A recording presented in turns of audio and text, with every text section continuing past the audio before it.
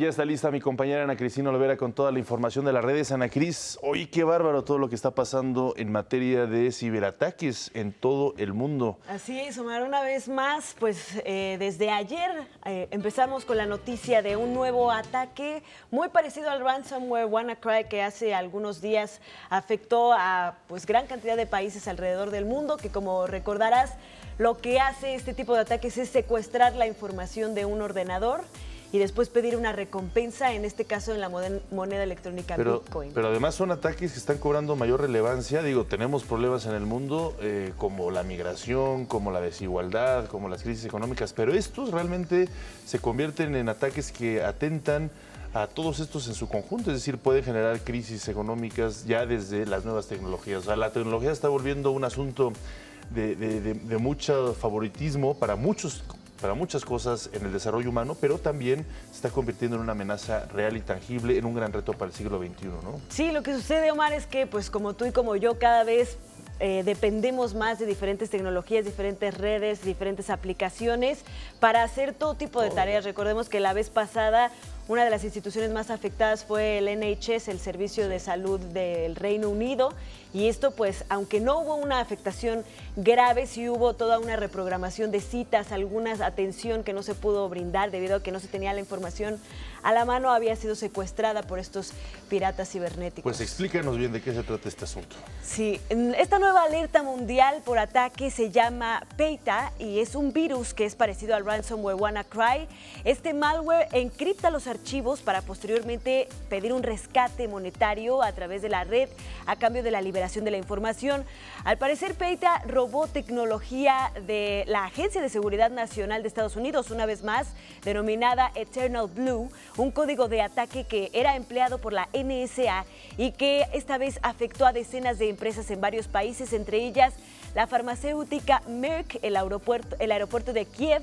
eh, APM Terminals, el sistema de monitorización de radiación de Chernobyl, entre muchas otras cosas. El virus inhabilitó los sistemas operativos de empresas en Estados Unidos, Holanda, Reino Unido, España, Francia, India, Dinamarca, Noruega. Sin embargo, las más afectadas fueron Ucrania y Rusia. Ante esta amenaza, la Organización Internacional de Policía Criminal, la Interpol, comunicó que se está monitoreando la situación y está, están en constante comunicación con los países miembros de la Interpol. Se reveló que los piratas cibernéticos están pidiendo 300 dólares a través de bitcoins para liberar los datos, soborno al que algunas empresas ya han accedido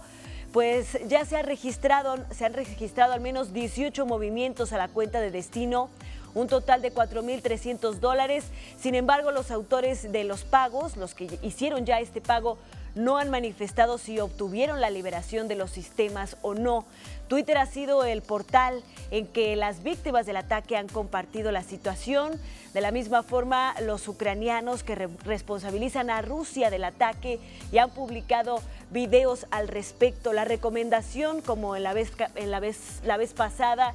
del ransomware WannaCry sigue siendo que no se pague este rescate, pues no hay ninguna garantía de que los piratas cibernéticos regresen la información una vez que se entregue el dinero y pues ya iremos dando seguimiento en las próximas horas para ver si hay alguna forma de parar este nuevo ataque cibernético. Y vámonos ahora con noticias de Google porque ante la exorbitante multa de 2.700 millones de dólares que la Unión Europea impuso a esta compañía tecnológica por infringir la ley de prácticas monopólicas, la compañía de Silicon Valley se manifestó ya al respecto, defendieron sus actividades y reiteraron que no están de acuerdo con las conclusiones del caso, por lo que están preparando una apelación. Ken Walker, el vicepresidente y asesor legal general de Google, reiteró que su intención siempre será el favorecer al consumidor y que lo han hecho a través de innovaciones y datos otorgados por los propios usuarios. Esta apelación busca demostrar que la Comisión Europea está subestimando el valor de las conexiones rápidas y fáciles. Los usuarios quieren resultados directos y no que se les obligue a ver otras páginas web donde tienen que volver a repetir sus búsquedas. Esto aunado a que los comerciantes europeos están utilizando sus anuncios para competir con Amazon o eBay, plataformas que en los últimos años han tenido un gran crecimiento y que la Unión Europea está pasando por alto. No obstante, los 90 días que la Comisión Europea dio a Google para cambiar su sistema en el buscador siguen pasando, por lo que tendrán que tomar acción al respecto para evitar nuevas sanciones, por lo menos hasta que la apelación refleje resultados, se acepte o no. Recordemos que, bueno, Google está argumentando que los consumidores son responsables de sus búsquedas y que no se debe, no se debe actuar de forma paternalista en los consumos a través de la red. Y vámonos ahora hasta el espacio porque la NASA se está acercando un paso más a la fabricación del transporte de pasajeros del futuro. La agencia espacial dio a conocer que concluyó el diseño de la aeronave supersónica silenciosa conocida como Quest o Avions. En colaboración con la cooperación con la corporación Lockheed Martin, lograron obtener los resultados estipulados al inicio del proyecto, bautizando como Low Boom Flight Demonstration, los cuales eh, eran volar a gran velocidad sin ocasionar molestias o daños a las personas en la Tierra, es decir, sin producir sonidos perturbadores. El siguiente paso es convertir el diseño